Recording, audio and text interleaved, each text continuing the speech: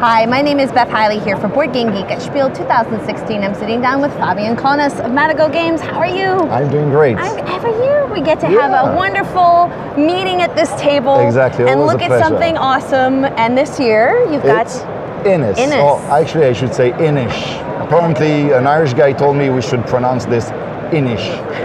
so let's say Inish, okay? And uh, Inish is our latest game in uh, in our XL collection, so big games where we have Cyclades, uh, Kemet, and now we have uh, Inish. Um, Cyclades was about the Greek mythology. Uh, Kemet was uh, about uh, Egyptian gods, and Now this one is about uh, Celtic mythology, so Irish mythology. so big actually. I'm going to move the box Yeah. so we can take a look at what's inside. Yep. So um, this game is about um, becoming the king of the Irish lands. And uh, so you are uh, the head of a tribe. Uh, a tribe is basically a, a color here. And uh, your tribe is made of several clans. And you have these different territories, and actually the board will expand as the game progresses because you can add more territories to, uh, to the board. Which kudos on the spectacularly dynamic Yeah. territory edges Well, there. It looks good, but also very useful if you have to move the board Ah. uh, around because it sticks together, you know? It's almost like you did that on purpose or something. um, and so the goal of the game is to um, to have more victory conditions than any other players at the beginning of one round. And there are actually three possible victory conditions. The first one is uh, very obvious: is to be present in six territories. At the beginning of the game, it's not possible. But as, yeah, exactly. But as the game progresses, you will be able to do that. Second possibility is uh, to be present next to six sanctuaries. So there's uh, little um, uh, miniatures here are sanctuaries, and if you are sitting next to six sanctuaries, that's a victory condition. Uh, you can actually have several sanctuaries in one territory. That's not a problem. Uh, and the last condition is to be the chieftain of six clans. So to be the chieftain in a territory means to be to, to have the majority. So here, for example, green has a majority over orange.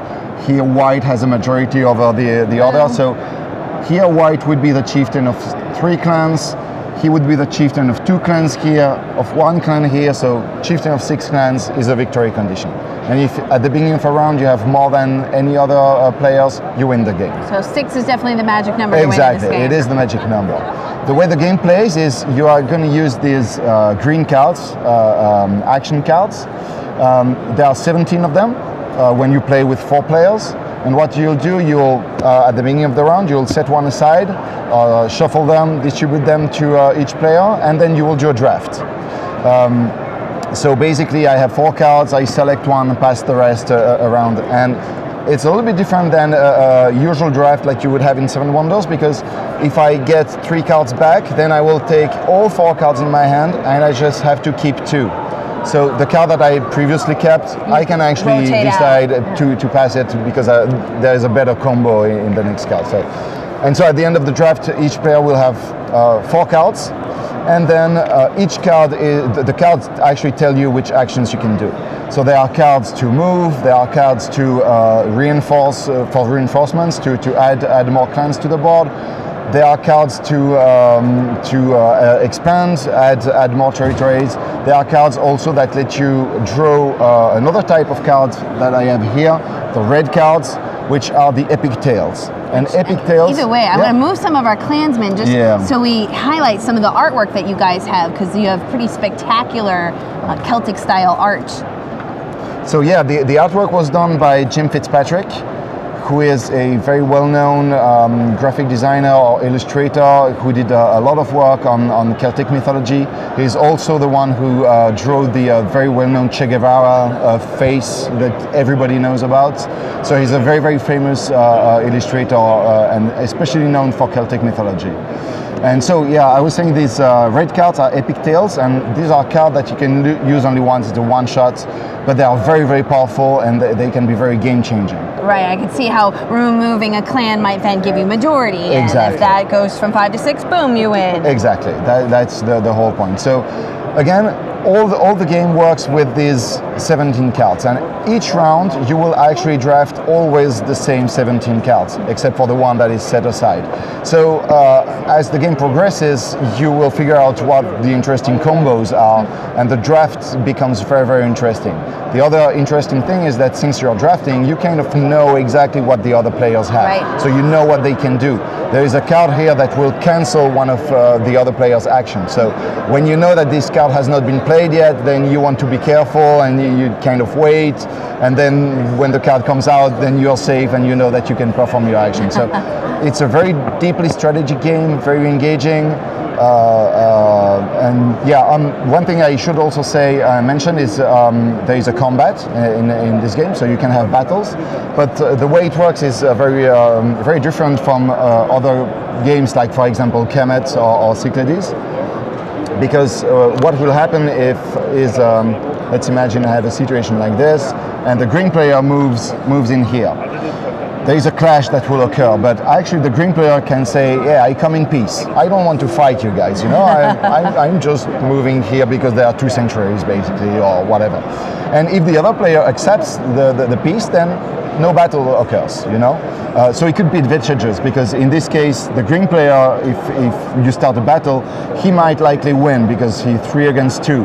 So this guy will lose the two sanctuaries. So it might be in his advantage to say, yeah, okay, I accept the peace and we'll one fight. If you do fight, then on your turn, the green player will say, okay, uh, then I attack you. And you the, the other player has two possibilities. Either he loses a clan or he actually discards one of the green cards, which are very important. So it's uh, it's a decision, decision uh, that has to be made, and um, the battle continues until either the players agree on the peace, or if one player is completely removed from the from the territory.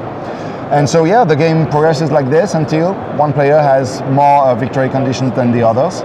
Um, the other thing I should say is that um, the turn order will actually be decided at the beginning of each round. So you have this um, uh, um, uh, crow crow's to- token.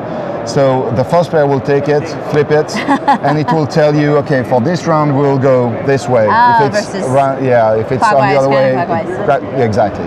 Clockwise, counterclockwise for the draft, but also for the turn order. And um, the last thing is the citadels that we have here, this little building. So if we start a battle, before the battle begins, so let's say green is the invader, this one can actually go and hide in Oh. a citadel. so now he will not take part uh, in the battle. So you will do the fight between these two. At the end of the fight, this one will just step out and he's safe, basically. And so yeah, very clever game, very strategic, uh, very easy to, to learn. The, the rules are very easy. The cards are a bit uh, tricky to understand, but after one round, you exactly know what, what happens because it's always the same cards. And uh, yeah, pretty uh, awesome. Because say game. I'm really I, I like the arc that your your large game series Mm-hmm. is taking, and particularly all that ranging through the different classical mythologies. Yeah. So I think this is a fantastic addition to your Thank you. lineup, and I appreciate you taking a few minutes Yeah, to give us a look. So if you guys want to check that out, that is Inish Yeah. by Matagot Games, and Fabian, thank you so much. Thank you very much.